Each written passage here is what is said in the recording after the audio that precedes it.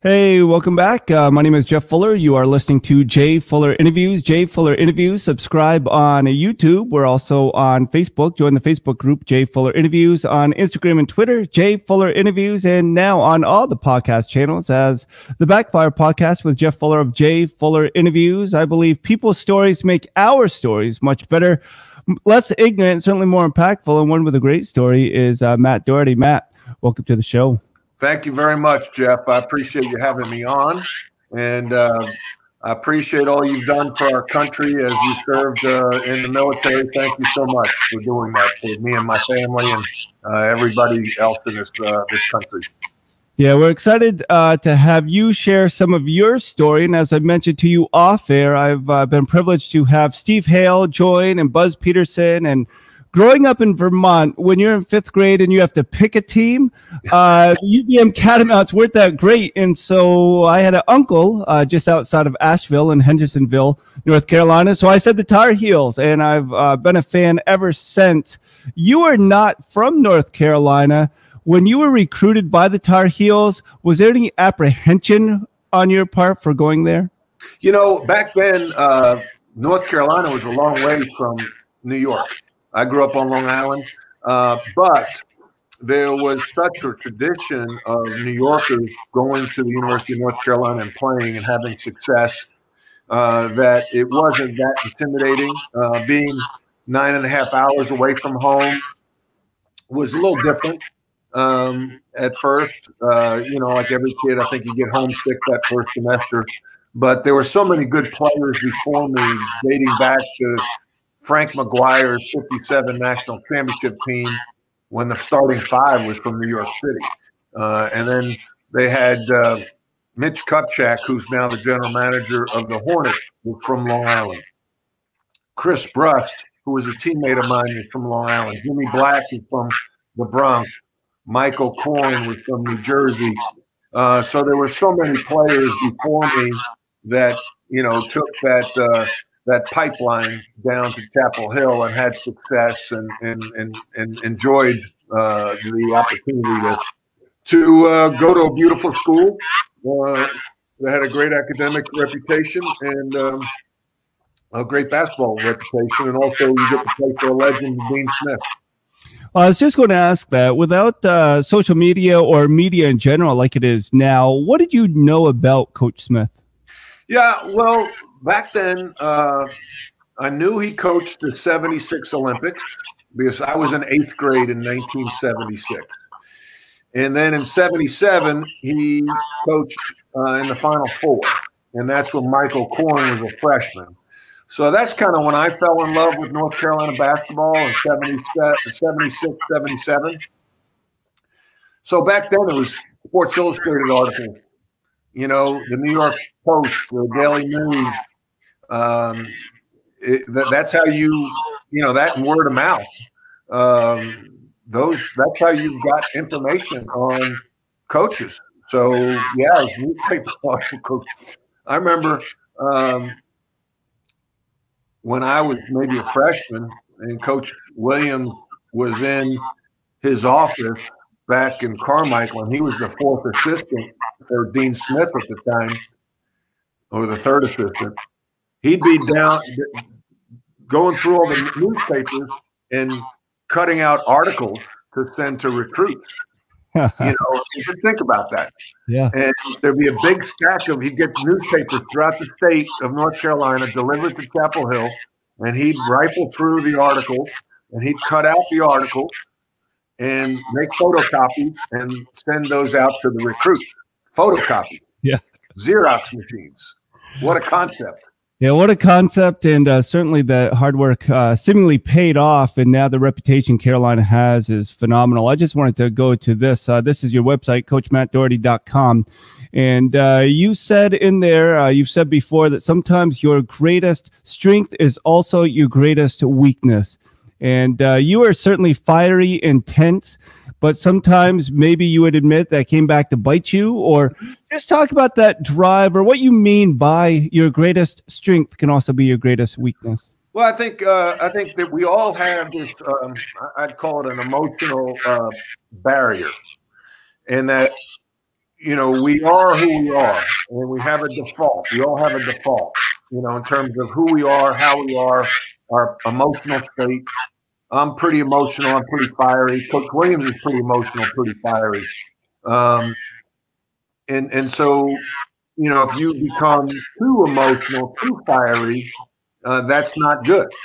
You stay within that boundary, that circle, and you manage it.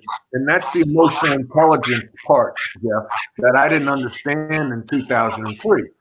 Um, to be aware of your emotions and how they impact others. And so, you know, I like to play with a high level of intensity. Um, that's the only way I could be successful because I wasn't very athletic. So I had to play that way.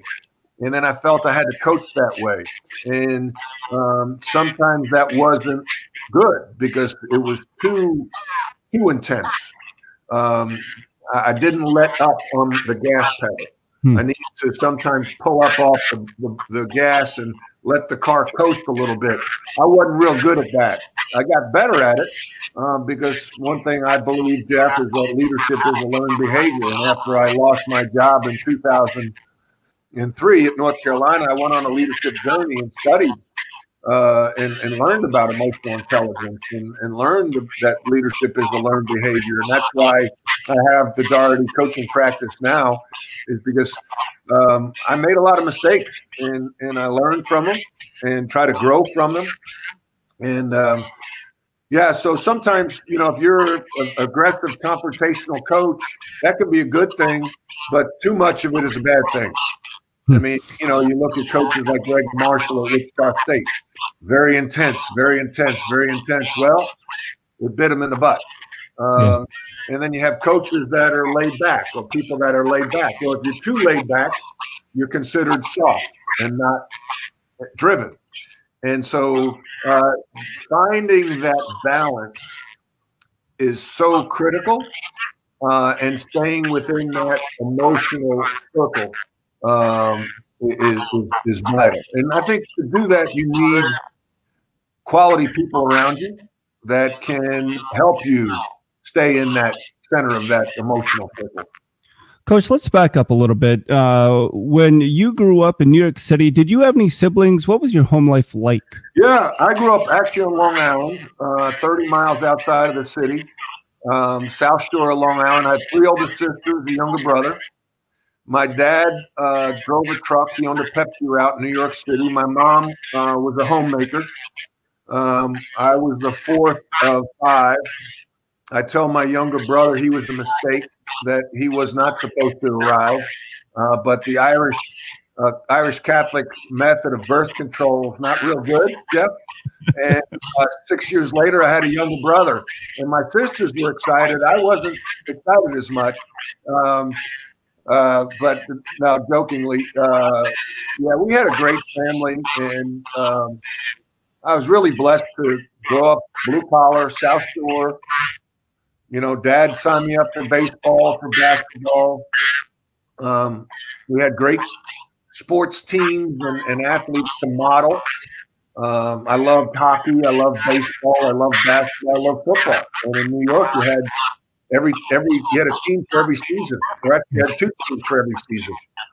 And uh, then I had great coaching on Long Island. I was blessed because you had first generation New York City guys teaching us, and one of those who really impacted my life was Bob McKillop, who's now the head coach at Davidson. Hmm. He was my high school coach for two years before he went to become an assistant at Davidson, and then he came back at a rival high school. So I was really blessed to have a lot of great coaches that uh, taught me the fundamentals of the game. And we had parks to play in that taught me how to compete. You know, and if in New York, if you wanted to stay in the court, you had to win. how tall did you end up? I'm six. Uh, I was listed at six eight as a senior in college, but I'm I'm six seven. So did, uh, did you have a growth spurt? as a freshman in high school? Okay. Did you have a growth spurt in middle school? I was always tall. Okay. Yeah, I was always you know back of the line. You know, when the teacher said line up in height order, I just went to the back, and, and and usually I was the last one in line. Did you ever feel? I have a friend. He's six eight, and in Vermont, it's different because we don't have a lot of tall guys, I guess. But he always said he heard fans saying it's not fair because he's so tall. He's kind of a bully out there. And he said he had to work through just figuring out this is how God created him. This is what he was going to do and make the most of his body, his size. What identity crisis maybe did you go through?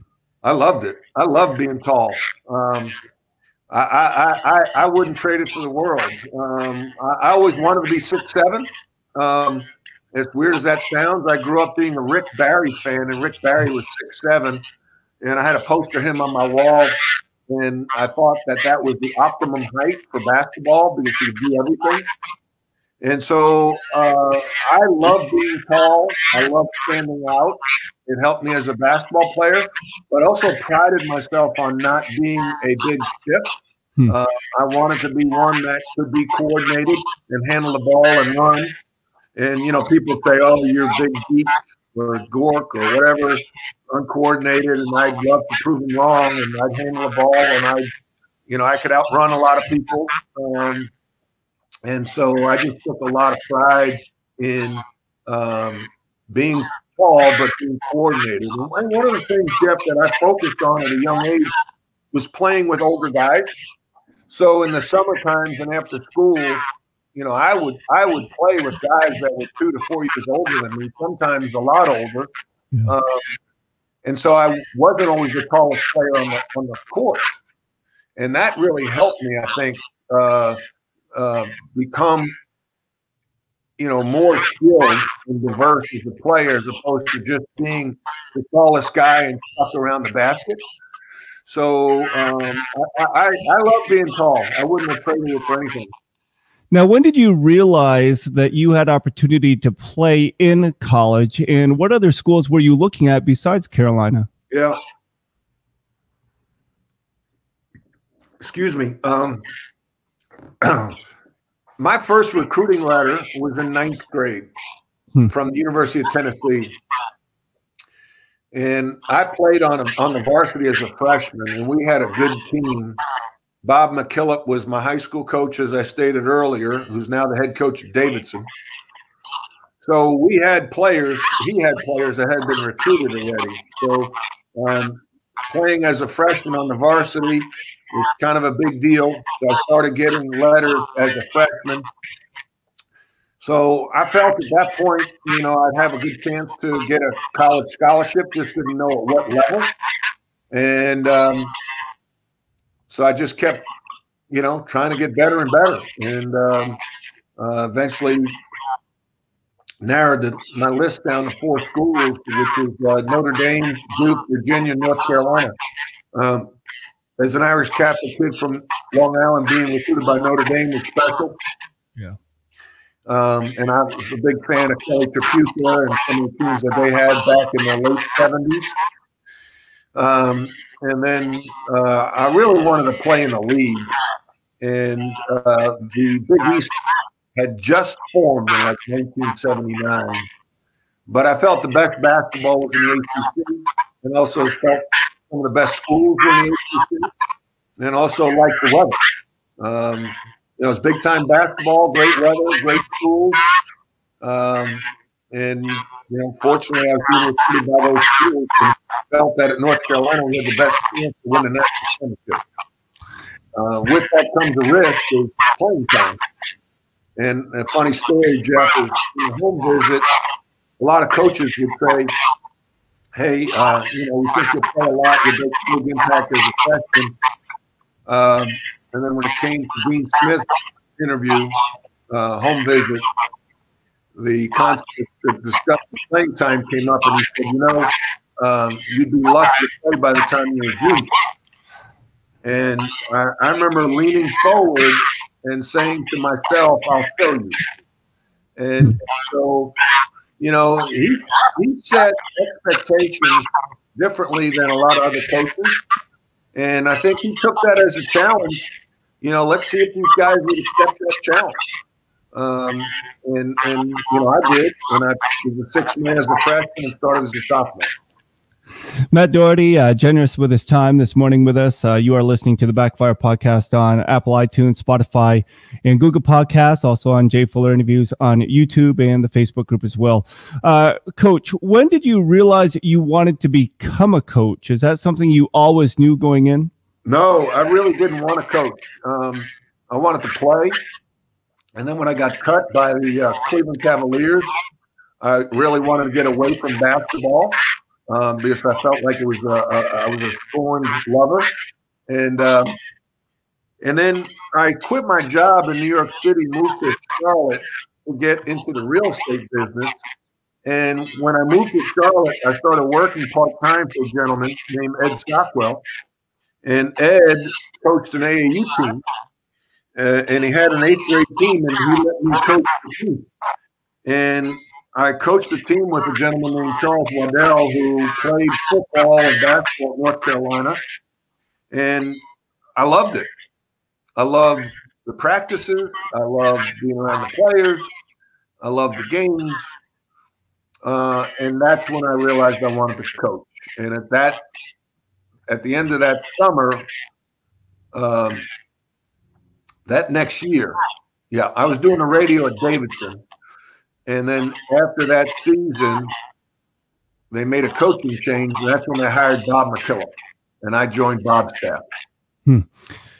Hey, Coach, uh, you shared before when we were on radio with me several years ago when you were at SMU how it was difficult for you, but you also had a sense of pride seeing Carolina win that championship after uh, you had left. Right can you just share? I mean, there's so many questions here, but just with McCants and those guys that you recruited, um, what was that recruiting process like for you? I imagine you weren't cutting articles out of newspapers and uh, mailing them to players.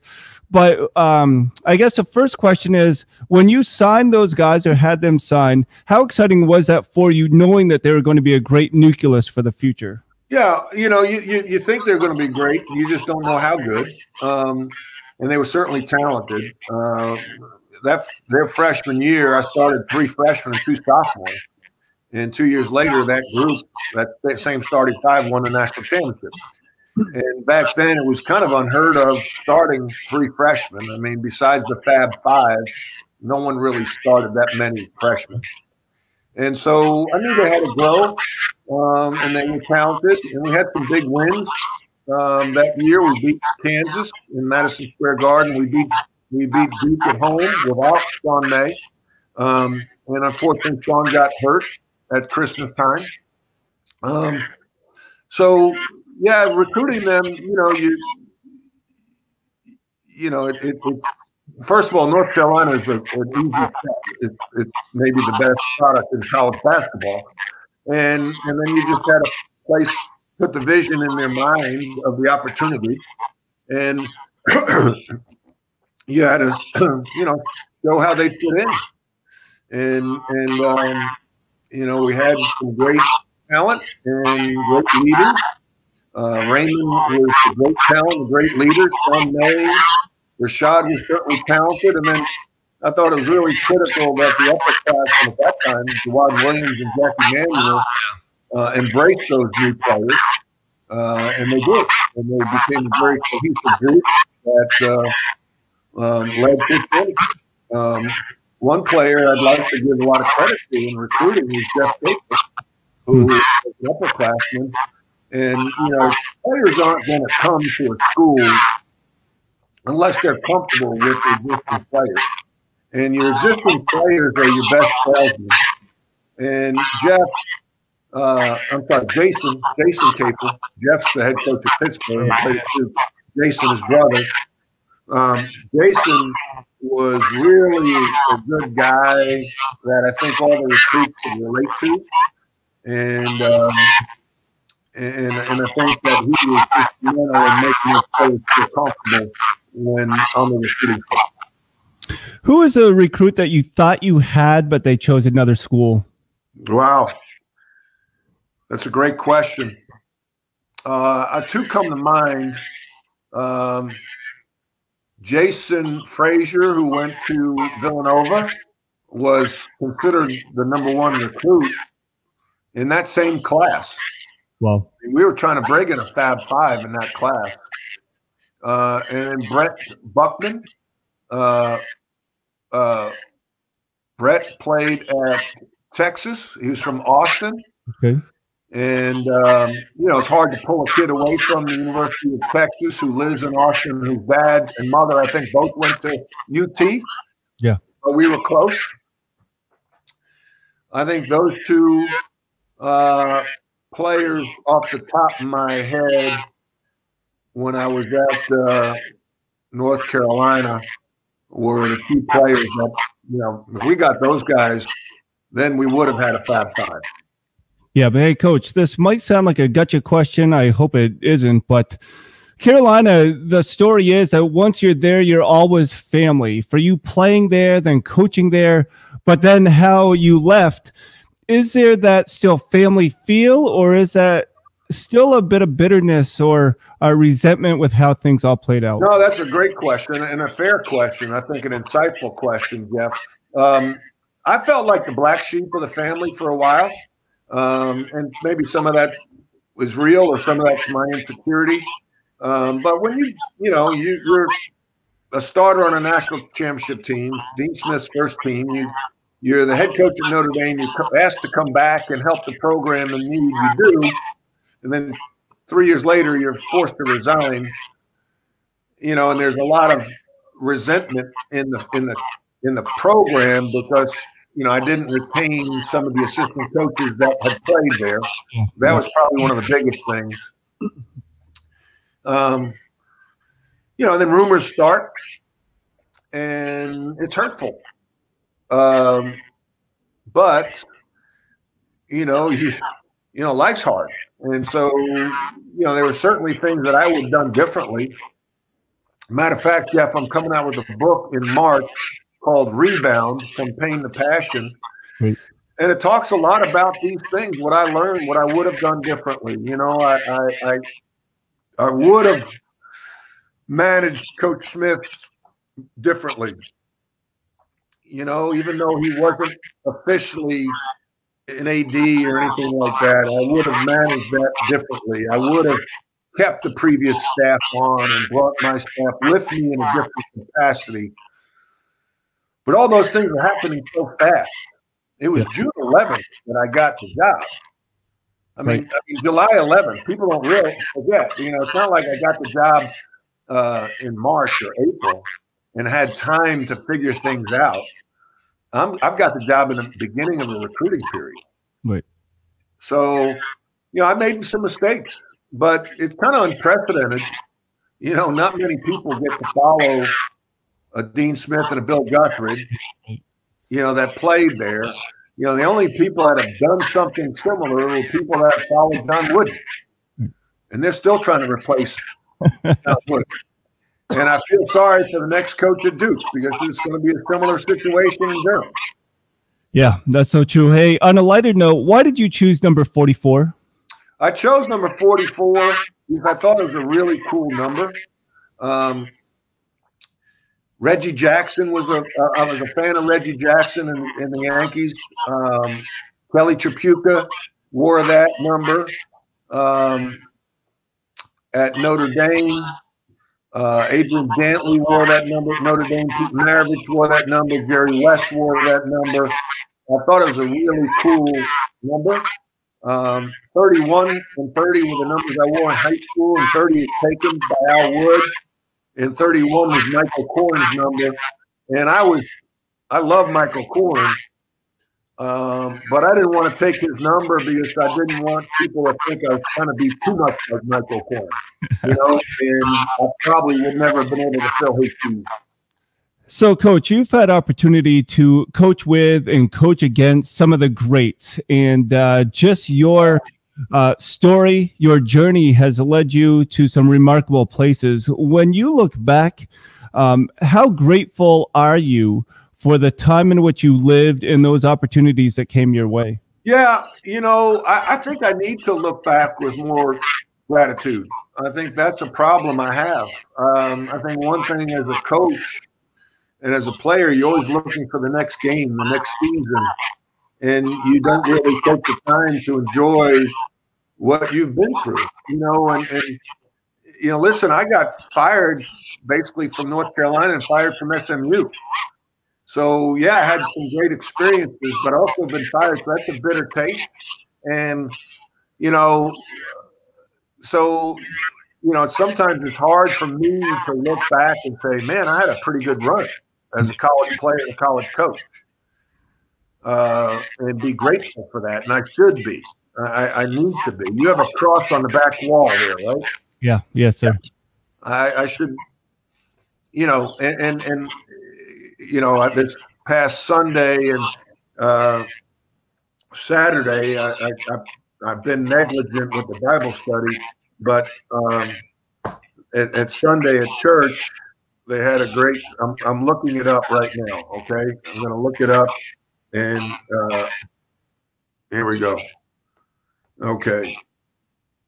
All right. I'm thankful for everything that makes me more like Jesus. Gratitude should be the response to the trials. See trials as a gift. Wow. And and I think sometimes I don't do that, and I think we don't do that. Um, but you know, Jesus went through a lot of trials. Yeah, guy's gotten whipped. He had friends turn on him. He had to carry a cross. He got hung. Uh, you know, uh, mounted to a cross. Um, so I try to, I need to do a better job of taking the things that have happened to me and be more Christ-like in my walk. That's my goal. I'm not good at it, Jeff. I need help.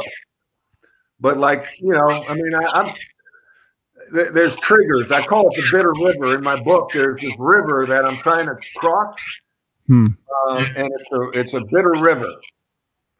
And you're on this road. There's no guardrail, but you're on this bridge, and all of a sudden there might be a trigger. It might be a Carolina game on TV. It might be a contemporary getting a good coaching job. And I drive off the road into the bitter river. Hmm. That's not Christ-like. But we're flawed humans. And so I have to be more like, okay, take the high road, model the behavior I want my kids to see, and and realize, okay, what you know, Robin Roberts talked about make your mess your your mess your message. Yeah, yeah. You know, my mess was getting fired at North Carolina. To make it my message, and that's what I'm trying to do with the Doherty coaching practice.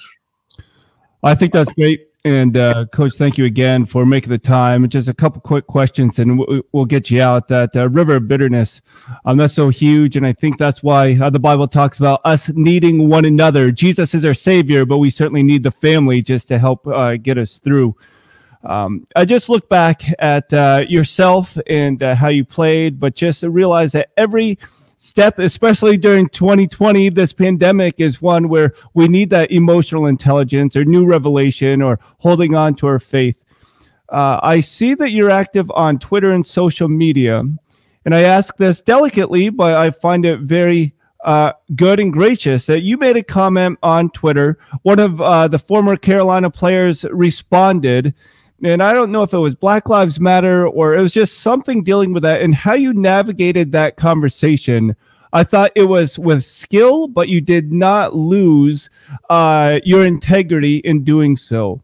How important is it that during this time we maintain integrity by sharing what we truly believe, but also showing grace and empathy to those that might be traveling a different way? A hundred percent.